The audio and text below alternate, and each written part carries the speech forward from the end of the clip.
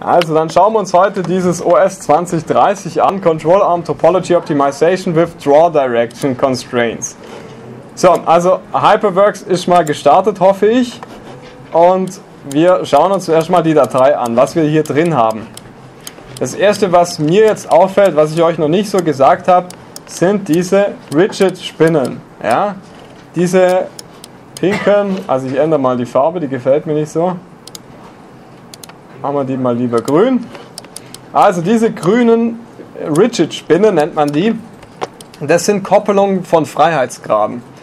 Und da gibt es mehrere Möglichkeiten, wie man die koppeln kann, aber das werden wir noch sehen. Also hier für euch wichtig zu wissen, sie dienen eigentlich dazu, dass man Kraftangriffspunkte bzw. Laststellen übertragen kann. Das heißt, wenn man jetzt hier die Rigid-Spin mal ausblendet, sieht man, hier haben wir hier diese Bohrung und in der Mitte hat man ein, eine Lagerbedingung gesetzt und diese, diese Lagerbedingung sagt, festhalten in XYZ translatorisch und diese Lagerbedingung wird über das Rigid an alle Knoten, die ihr hier seht, weitergegeben. Das heißt, die komplette Bohrung wird so festgehalten.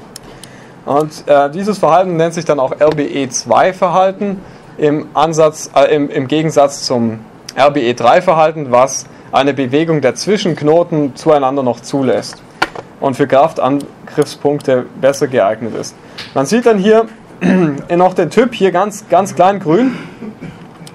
Und hier in dieser Bohrung sieht man, dass die Kraft hier weitergeleitet wird. Also hier sieht man zwei Kräfte angreifen und diese zwei Kräfte werden dann eben weitergeleitet an die Bohrung. Okay, also die Control Arm Datei haben wir mal geöffnet und wir sehen auch, dass hier ein kompletter Lastfall schon definiert wurde. Das heißt, wir können jetzt schon direkt rechnen. Machen wir jetzt aber nicht, sondern wir setzen jetzt mal die Topologieoptimierung auf. Und zwar war das über Analysis, Optimization, also hier der Knopf bei Analysis direkt daneben. Optimization an Seite wieder im Optimization Menü. Und jetzt gehen wir praktisch folgendermaßen vor. Wir sind jetzt wieder in der Topologieoptimierung logischerweise, also gehen wir auf Topology und erstmal auf den Radio Button Create. Und wir werden jetzt eine Karte kreieren und zwar nennen wir einfach die DV1, aber wie gesagt, der Name tut jetzt nichts zur Sache. Und bei den Properties müssen wir aufpassen, es gibt jetzt hier mehrere Properties. Wenn ihr mal links in den Baum schaut, habt ihr hier einen Designraum und einen Non-Design-Raum. Seht ihr das alle? Also Modellbaum unter Property gibt es einen Designraum hier und einen No-Design-Raum. Und das findet sich auch hier im Modell wieder. Also hier habt ihr praktisch die braun gefärbte, die braun gefärbten Elemente sind diese Elemente, die die Property Designraum haben. Und dort wird dann auch was verändert.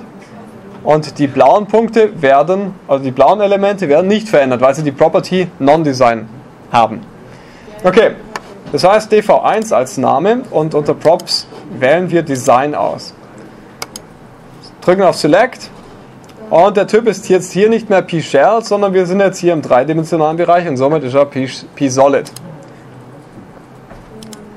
Also, Name DV1, Props, Property äh, Design und Type P-Solid. Frage? Wie lege ich jetzt diese, also in einem Bauteil diese zwei Räume fest? Kann ich das einfach manuell, also ja. über Shift gedrückt halten, die Knoten markieren und dann... Genau. Es war die Frage, wie kann man äh, das festlegen, dass ein bestimmter Designbereich existiert und wie ein Non-Design-Bereich existiert. Also wir sehen jetzt hier, dass wir zwei Properties haben. Und diese zwei Properties entsprechen den zwei Komponenten. Und wenn man jetzt sagt, man will jetzt hier zum Beispiel doch noch ein bisschen mehr von diesen Elementen hier in den blauen Bereich bringen, dann kann man das wie folgt machen. Die sind ja im Moment im Designbereich. Man will sie zum Beispiel in den Non-Design-Bereich schieben. Das geht über Shift und F11. Drückt mal alle Shift und F11. Das geht natürlich nur, wenn ihr draußen seid. Shift F11 und dann habt ihr so ein Verschiebungspanel, kann man so sagen. Und da kann man sagen, man will jetzt Elemente verschieben. Wenn ich jetzt zum Beispiel hier zwei Elemente nur zum Zeigen mal anwähle, und Destination Component auf Non-Design stelle und dann, dann auf Move drücke, dann seht ihr, dass sie blau werden. Also bitte nicht mitmachen, weil sonst kommt er nie wieder zurück. Dann könnt ihr die so verändern und die werden jetzt praktisch im Non-Design-Bereich. Also es geht über den Weg, dass man verschiedene Komponenten anlegt, diese Komponenten mit verschiedenen Properties hat und infolgedessen zwei verschiedene Bereiche hat. Ich gehe jetzt wieder auf Reject und dann ist die ganze Sache vergessen. So, zurück zur Aufgabe. Analysis Optimization Topology, Name DV1, Props auf Design gesetzt und pSolid als Type. Drücke ich auf Create, dann sehe ich links, dass eine Design-Variable erstellt wurde, dv1. Gut, und jetzt kommt diese Sache mit den Draw Directions. Die Draw Directions als Bearbeitungsrichtung, ähm, die können wir jetzt festlegen. Und zwar wollen wir jetzt folgendes machen. Wir gehen jetzt hier auf Draw. Vierter Radio-Button. Und da können wir jetzt praktisch einen Draw-Type definieren. Im Moment steht None drin. Also kein Draw-Type. Den stellen wir jetzt mal auf Single. Und jetzt sollen wir zwei Knoten auswählen, ähm, die die Richtung der Draw Direction vorgeben.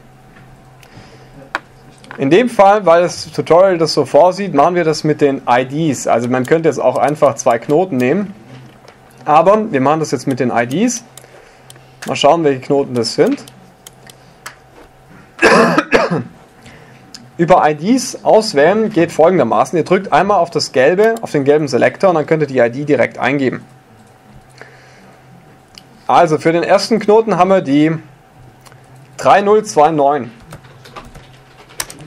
und Enter gedrückt. Schauen wir mal, ob wir den finden. Also ich finde den, der ist hier. Und dann der zweite Knoten wäre die 4716.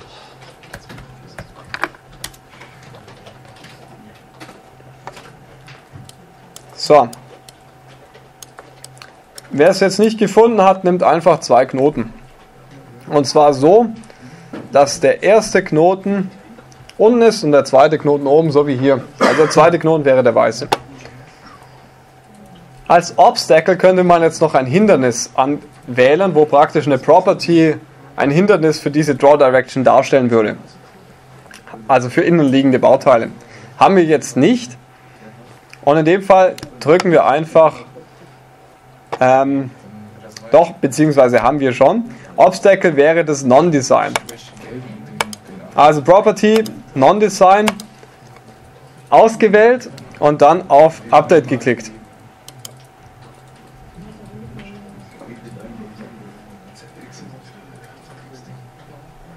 Gut, dann auf Return und dann sind wir praktisch mit der Draw Direction fertig. Das war alles, um die Draw Direction definieren zu können.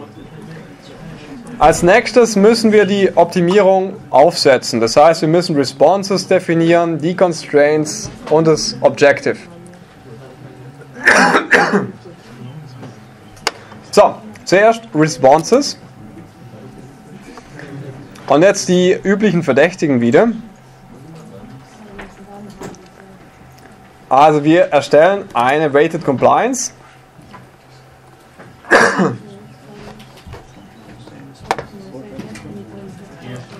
Können wir einfach AwayComp nennen.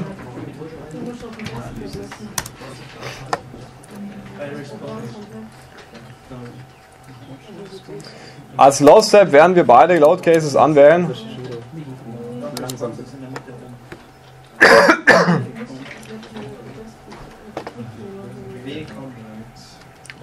Also Name WComp, Type ist Weighted Compliance, Weighted Comp.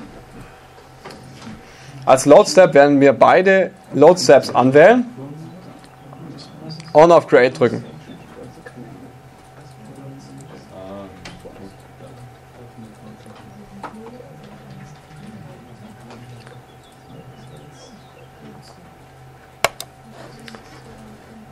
Ähm, die andere Response ist ein Volume Frag. VFrag und hier als Type Volume Frag.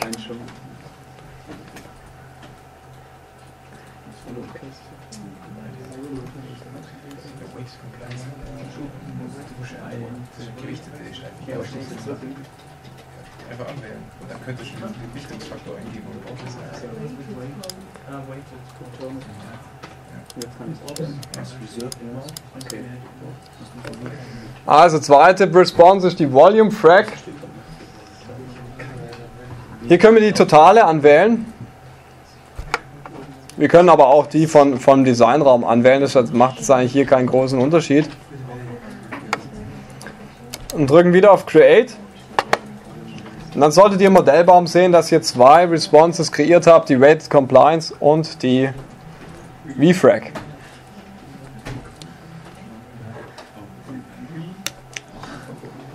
Als nächstes wollen wir die Constraints setzen, also Design Constraints. Und zwar wollen wir sagen, dass ähm, das Volume Frag maximal 0,3 betragen darf. Das heißt, wir gehen jetzt hier auf die Constraints und nennen das einfach deconst. Die Response ist in dem Fall Volume Frag und die Upper Bound auf 0.3.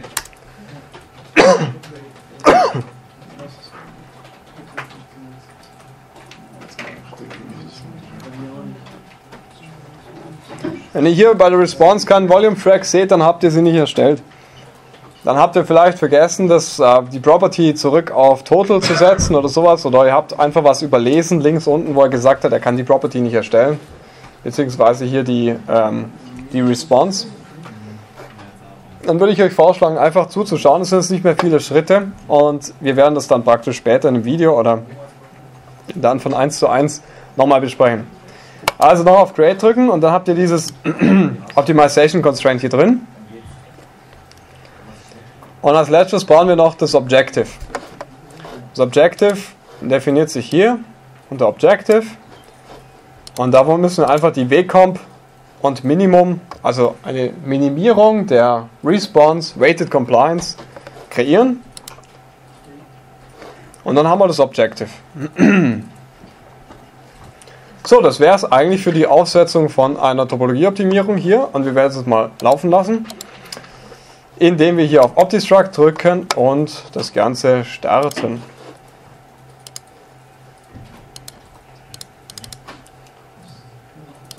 So, das nehmen wir jetzt hier Control Arm. Wichtig dabei, nicht vergessen zu speichern, wie ich hier.